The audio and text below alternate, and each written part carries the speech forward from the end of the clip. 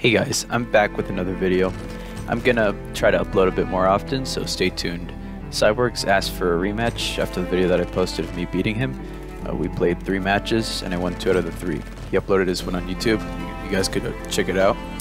Cyborg asked for only Scar and he disrespectfully chose other guns, um, which threw me off a bit. This match I only played with the Venge client. Um, the last two I was on browser. Here's the only match I recorded. Enjoy. You know you.